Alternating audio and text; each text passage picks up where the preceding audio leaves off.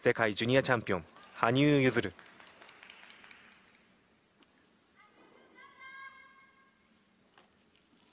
肩を水平にというおまじない。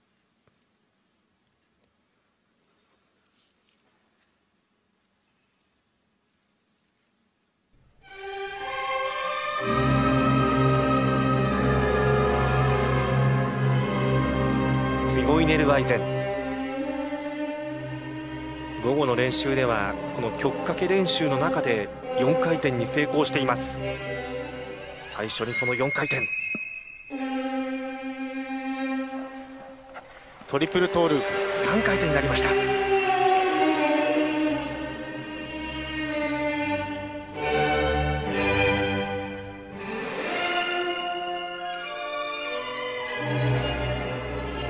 トリプルアクセル。転倒してしまいましたね。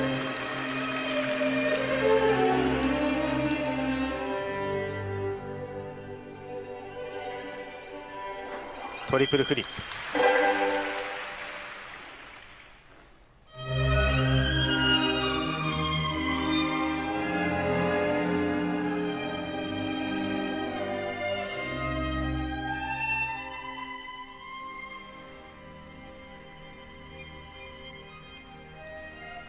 三強にはない魅力のこのスピンです。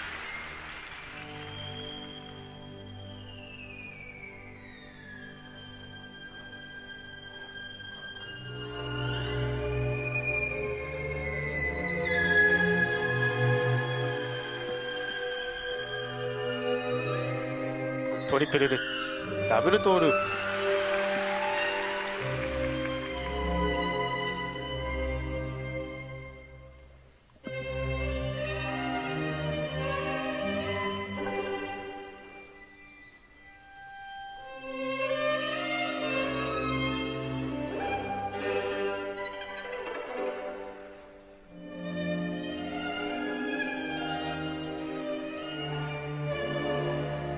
ずっとこういったバイオリンの曲を滑りたかったという羽生です。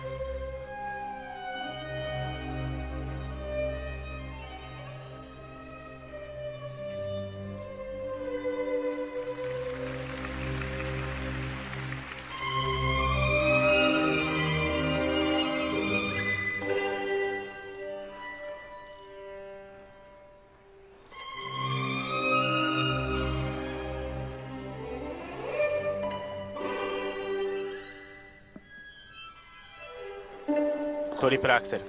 ダブルトールー。プダブルトールー。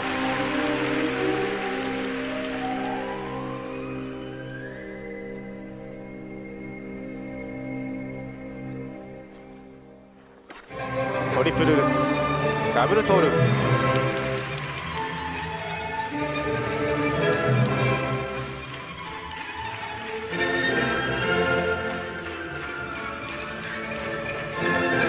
プトリプルループ。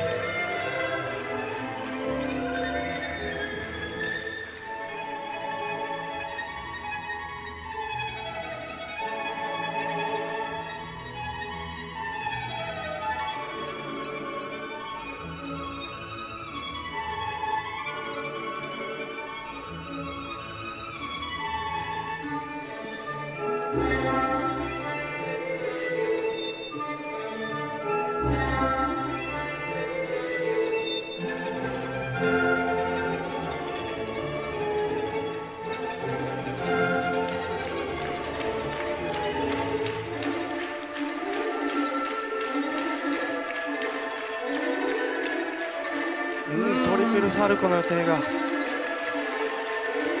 最後のジャンプ。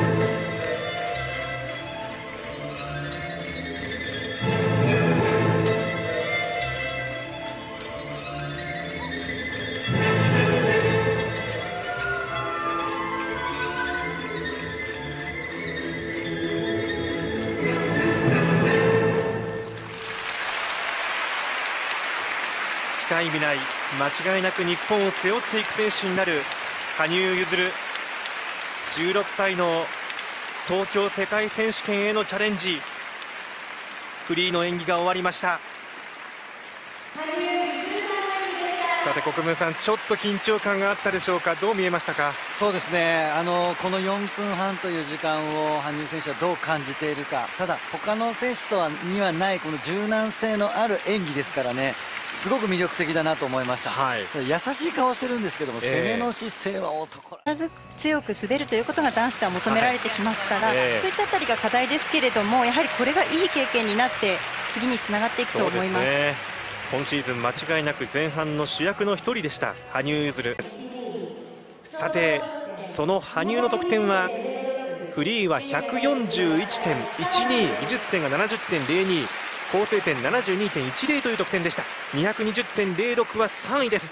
小塚高橋羽生そして最終滑走小田を迎えます。